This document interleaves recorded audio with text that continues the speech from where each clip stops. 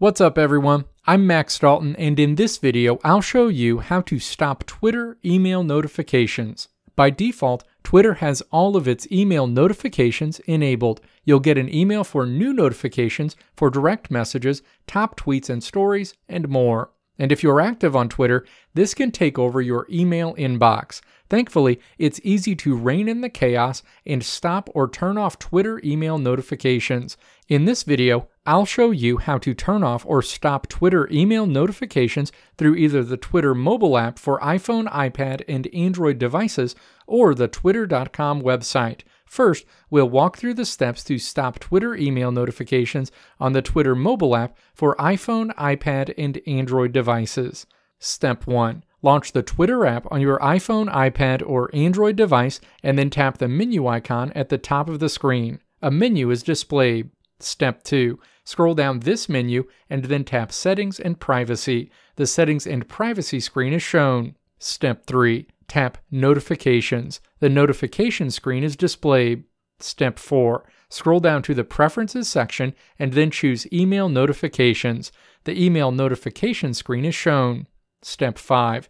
Toggle off email notifications to turn off all Twitter email notifications. Alternatively, you can leave email notifications toggled on, but you can review this list and toggle off specific email notifications. Your changes are saved automatically. Next, we'll look at how to turn off Twitter email notifications through the twitter.com website. Step 1.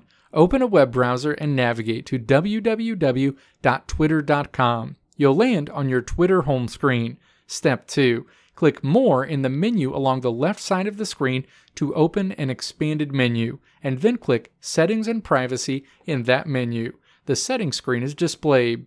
Step 3 click Notifications in the Settings menu, and then click Preferences in the expanded Notifications menu. Step 4. Choose Email Notifications in the Preferences menu. The Email Notifications window is shown. Step 5. Toggle off email notifications if you want to turn off all Twitter email notifications. Alternatively, you can leave Twitter email notifications turned on, but you can review this list and turn off different items independently. Let me know if this video helped you out in the comments below. If you liked what you saw here, click the video links on the right side of the screen to check out another video. Or click the logo on the left side of the screen to check out my tutorial website at www.maxdalton.how.